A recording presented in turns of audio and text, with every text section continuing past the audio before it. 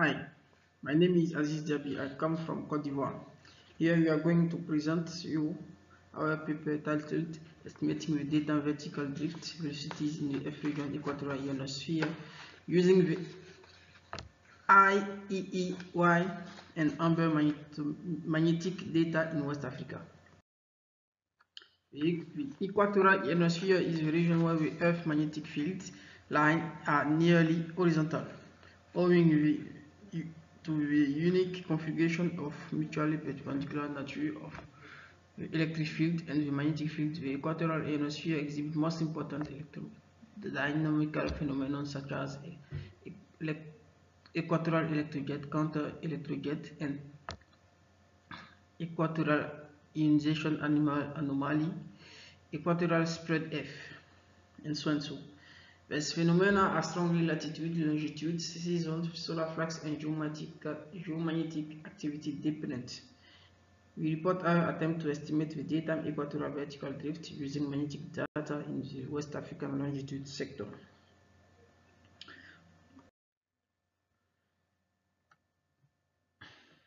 The dynamo region, of the ionosphere near the deep equator, the horizontal northward geomagnetic field B combined to the zonal electric field E Y produce an eastward Pedersen current GP1 and a vertical downward Hall current GH1 associated with electron upward drift E cross B. On one hand, as ion drift is impeded in the E region due to the collision with neutral particles, while electrons are relatively free to move. The resulting charge separation gives rise to an upward vertical polarization electric field EP on the other hand, EP gives rise to an upward vertical Pedersen current GP2. And the EP cross B creates an eastward Hall current GH2. When the polarization process is complete, the upward vertical drift eh, the upward vertical Pedersen current GP2 counterbalance the downward all current GH1. Then the next the net vertical current become nil. The eastward all current GH2 combined the primary eastward Pedersen current GP1 is the equatorial electrojet current.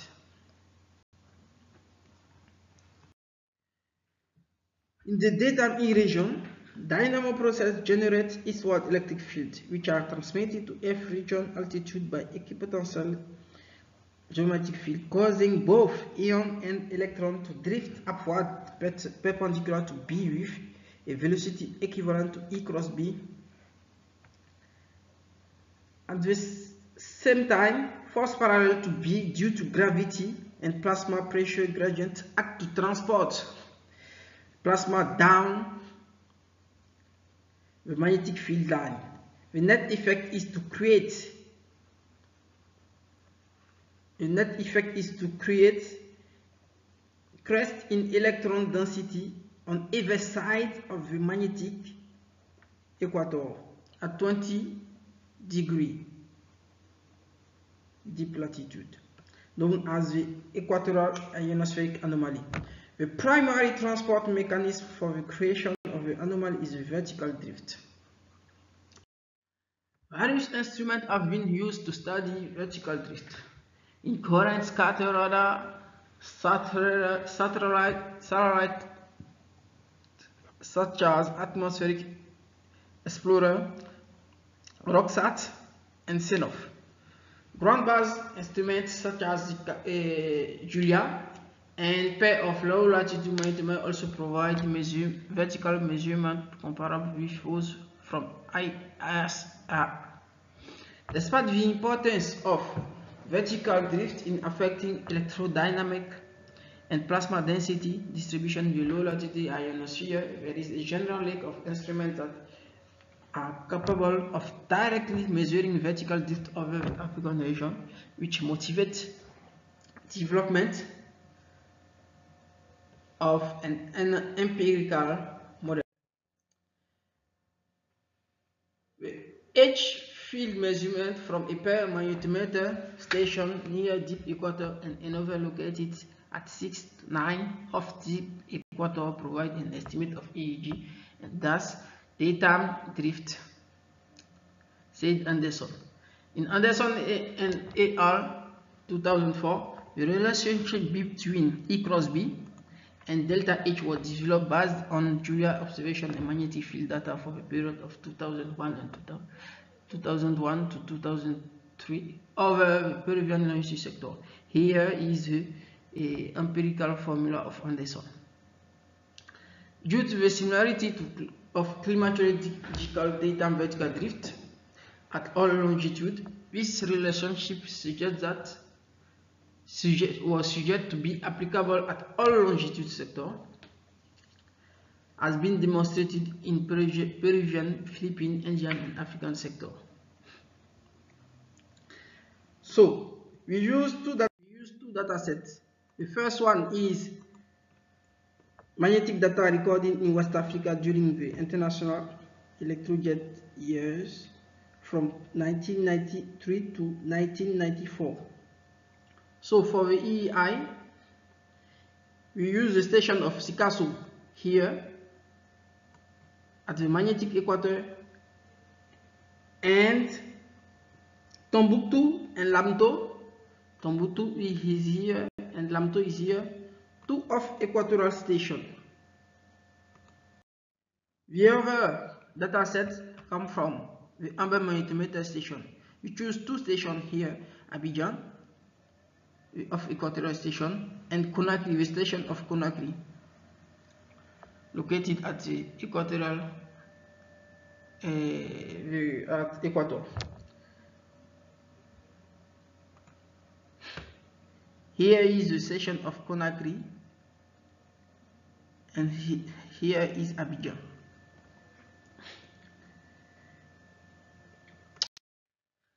So for each dataset, we first remove the NAT level. The NAT level is considered as the NAT level is considered as the baseline of the daily variation which correspond to the average midnight value H0 and of the H component. Here is how is calculated H0. So for here data delta H ST correspond to H Sikasso minus H Tombouctou. Delta H SL correspond to H Sikasso minus H Lamto. Delta H CA correspond to H Conakry minus H Abidjan.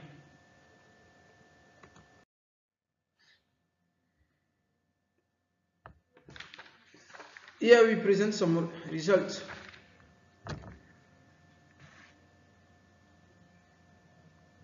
On this figure I represent the daily variation of the EEG on 19 February and 25th July 1993, two quite uh, days.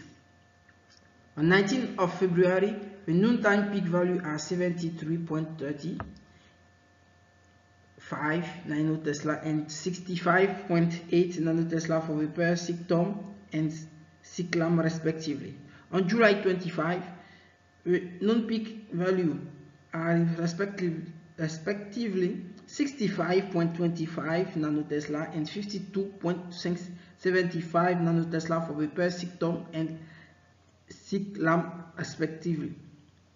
It is to notice, notice that SICLAM latitudinal separation is about 6.18 latitude degree latitude while SICTOM is 6.64 degree latitude. Here I represent the daily variation of the EEG on September 5th uh, in October 20th, 2013, two quiet days using the Amber data. The EEG from the pair Conakry Abidjan exhibit more important depression on early morning here in the two day before it increase towards the noontime maximum. This depression corresponds to a morning counter electrojet that occurred on September 5th and October 20th with a minimum of 19 uh, 19.32 nanotesla on October 5 on September 5 and 21.94 on October 20. The noontime peak on September 5th and October 20th are respectively 62.45 nanotesla and 64.92 nanotesla respectively. In this figure, the daytime vertical drift velocity exhibits the same trend as corresponding EEG magnetic signature. It's increased from 7 local time to attain its peak amplitude around local noon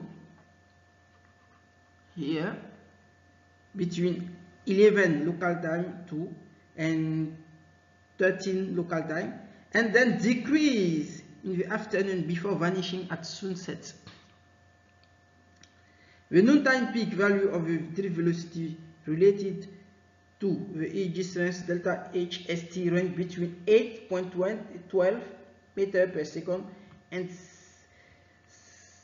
16.62 meter per second. For drift velocity related to delta HSL, the noontime peak uh, the noontime peak value range between 8 and 12.85 meter per second. This shows that the vertical drift velocity estimated from delta H ST Sikasso Tombouctou are higher than those from the pair Sikasso Lamto.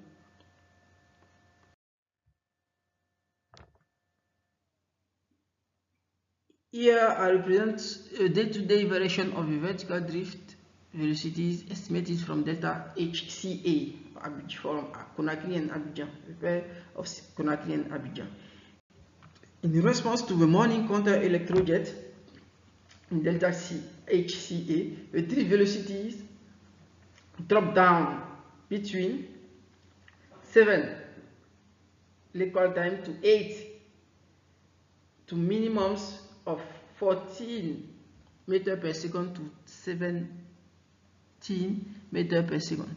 After this morning depression, here, the drift velocity increase and attain its maximum of 21.57 eh, meter per second to 27.66 meter per second around local noon then decrease during the afternoon.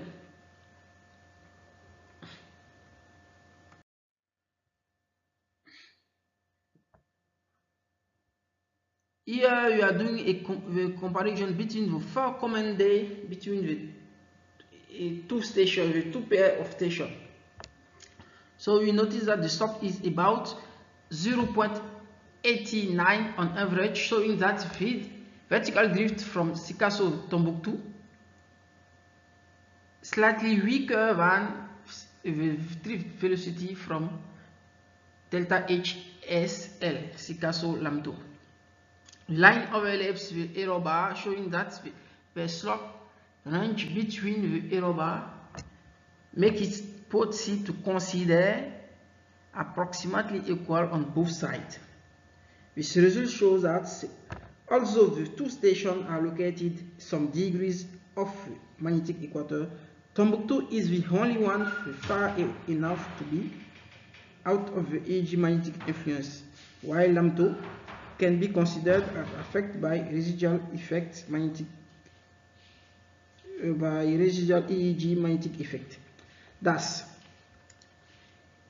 In a per station approach to isolate the EEG magnetic effect, it is worth to keep in mind that the location of the two stations of the pair may significantly bias the result.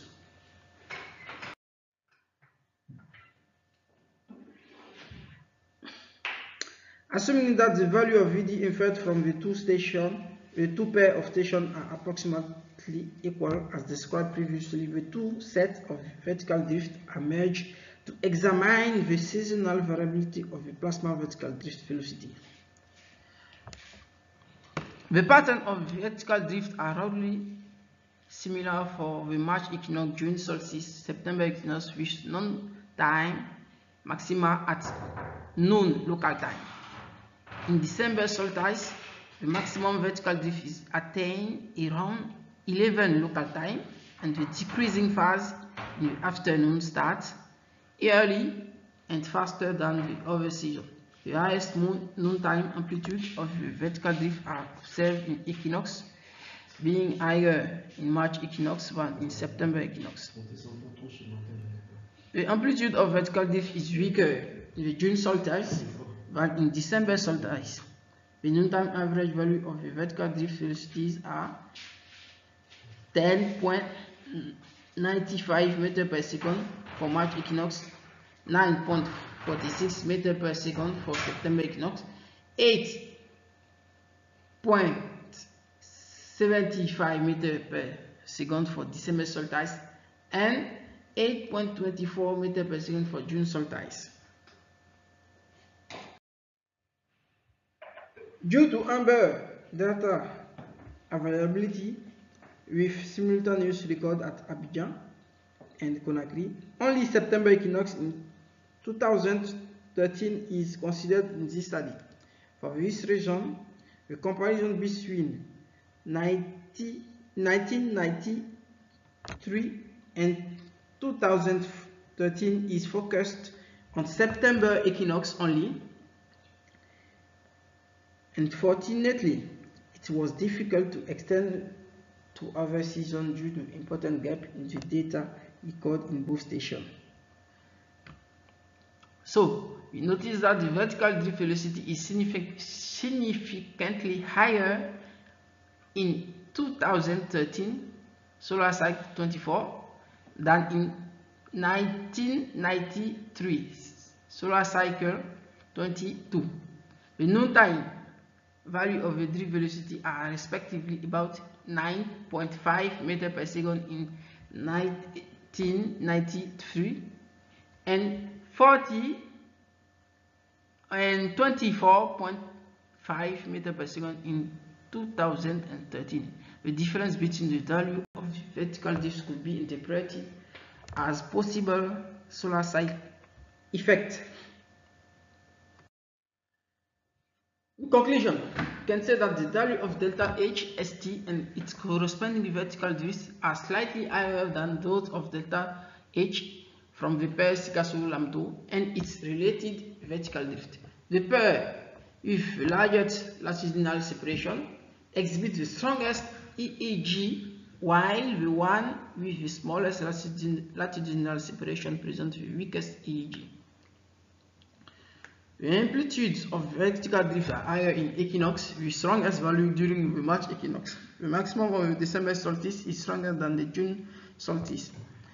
The noontime seasonal average of the vertical velocity, the drift velocities are 20 are 10.95 uh, meter per second, 9.46, 8.75, and 8.27 meter per second for March equinox, September equinox, December solstice and June solstice respectively.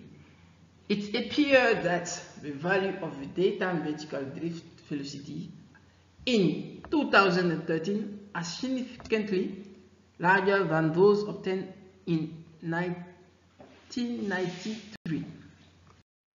Thank you very much for your attention.